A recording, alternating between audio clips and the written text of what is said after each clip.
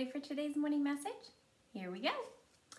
Hello, j uh, m ing, jumping. Hello, jumping frogs. Today is Wednesday, May blank, 2020. Let's go up to our number line.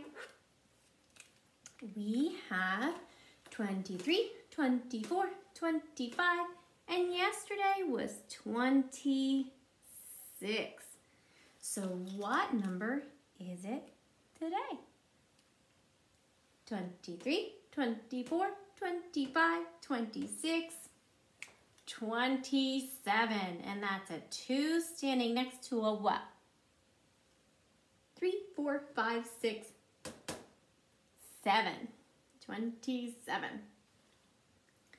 You will listen to one of my favorite stories, The Caterpillar and the Pollywog.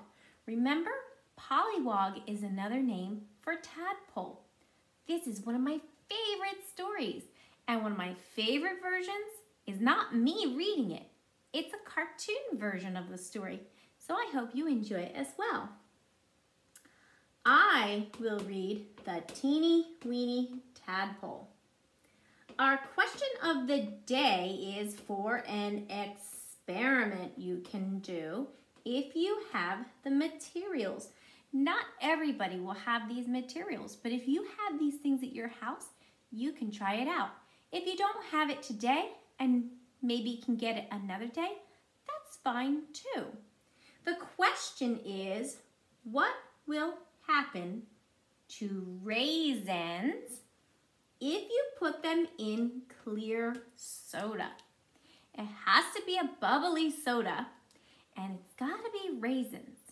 What do you think will happen if you put them in a cup of bubbly clear soda? Let me know. It's our question of the day and there's choices you can pick on our Google Classroom. I'll see you later, friends. Bye.